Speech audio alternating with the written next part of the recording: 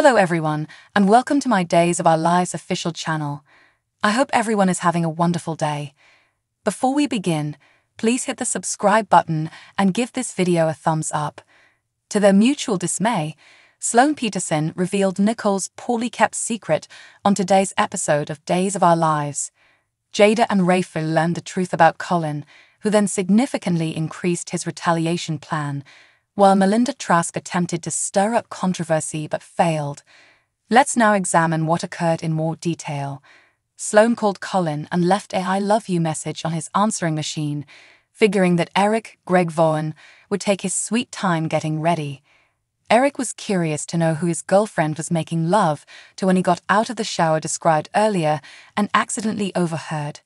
Eric was astonished to hear what Sloan had to say. It had been a long time since she had spoken of her younger brother. He had no idea that they were still in touch in truth.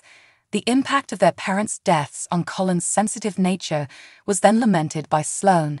Even though Sloan was entirely thrown off course by the loss, Colin's sadness and rage completely overcame him to the point that he could hardly function. For this reason, the loss had actually been harder for him and had altered him. Such statements led Eric to suggest that maybe Colin was after Paulina and Chanel, Raven Bowens, but Sloan wasn't too happy with the idea. She was adamant that her brother was not just unconnected to those crimes, but also far away from Salem. Eric apologized for his false charge, and when they had made up, they went to a bed nearby to enjoy some morning pleasure. The afterglow was shortly broken by a loud alarm coming from Sloan's phone, reminding her to use some of her running out of birth control pills. Did Eric and Nicole, Arianne Zucker, employ any form of contraception the night they slept together to speak of protection against pregnancy? Sloan was relieved when Eric revealed that Nicole had been given an early menopause diagnosis, even though he didn't completely respond to the probing inquiry. That sad, old thing, Sloan thought Nicole, meantime, began her day with a pretty candid conversation with Anna, Leann Hunley, who had come to check on her new friend's precarious health. Nicole complained that she should be more anxious about whether she would be able to take the child to term in the first place, rather than becoming more and more concerned about whether Eric or EJ was the father of her child. She has overwhelming disadvantages. Nicole had to explain to Anna how Holly was created via IVF and delivered by Chloe because Anna found that one difficult to understand in light of Holly. Anna admitted, I had no idea, which Nicole found hard to believe considering how everyone in Salem appears to be aware. Nicole's main concern was disappointing Eric by losing a baby who might be his, despite Anna's best efforts to assuage her anxiety with cliches and by highlighting the wonders of modern science. Anna began by reminding Nicole of the pregnancy do's and don'ts after making it obvious that she would be there for Nicole no matter what, including the need for a prenatal vitamin regimen and the avoidance of all forms of caffeine and alcohol. Nicole immediately took off towards the hospital, and what should happen but that she would run into Sloan Petersen there. What else was there for Sloan Petersen to do than read Nicole's newly acquired prescription? What prenatal vitamins? Paulina, Abe, and Chanel apologetically invite guest Melinda Trask inside the quite packed Carver residence. The DA had made the home visit to talk about rather delicate matters outside of City Hall, like removing Rafer as police commissioner and appointing Paulina. Why did Melinda do that?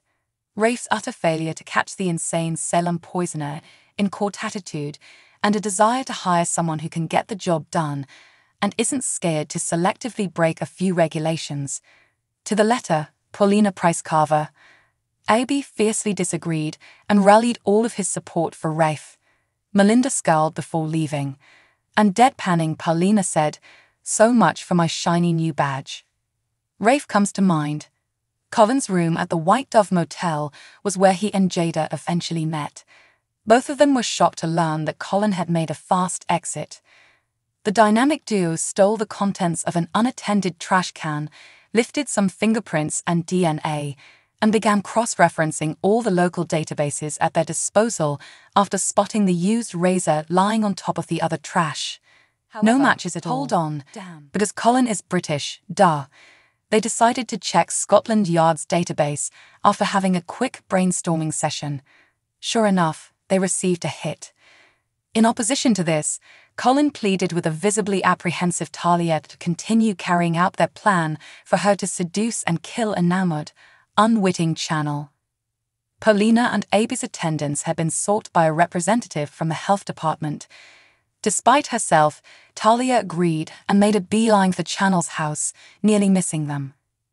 But surprise, surprise, it turned out to be Colin with a fake accent rather than a real government worker. According to Thursday's dun, Days dun, of Our Lives spoilers, Paulina and Abe are under pressure since Colin's plan puts them in grave risk. To catch this action packed episode, be sure to tune in. Loved up couple Paulina and Abe do their best to maintain their marital harmony. Sadly, Colin, Jasper Newman, is not going to allow it to happen. He intensifies his plan and doesn't give up on getting Paulina out. Abe and Paulina are in serious danger as a result of this turn of events. It's a dreadful turn of events, and once the drama begins, things might never be the same again. Colin wants Paulina to experience the worst of his rage and suffering, and it appears that he may succeed. Colin is unaware that it only takes one minor slip up to call the police. Rafe and Jada are on the case and moving in quickly. It's all downhill for Colin after they discover this horrible guy's past. They should be able to stop him before he causes more harm. Talia attempts to keep Chanel, Raven Bowens, happy and preoccupied while in bed at the same time. She literally charms her boss to death, and they spend the afternoon having sex in Chanel's room. Will Talia actually carry out her complete seduction strategy, though? When the going gets tough, her conscience might win out. When Sloan accidentally ran into Nicole, Arianne Zucker, and discovered that she was taking pregnancy pills, she was rather startled. Will she assume the infant is Greg Vaughan's, Eric's, child? Will she tell her man if such is the case? This can come as a real gut punch. Sloan loves having Eric by her side and is genuinely falling for him. If Nicole is carrying his child, their romance would be severely hampered. In the best case scenario, they'll end up co parenting with his ex. In the worst case scenario, Eric will want to be a family guy. In case you missed it, Days of Our Lives featured some outstanding performances last week, and Soap Hub struggled to decide just who should receive Performer of the Week recognition.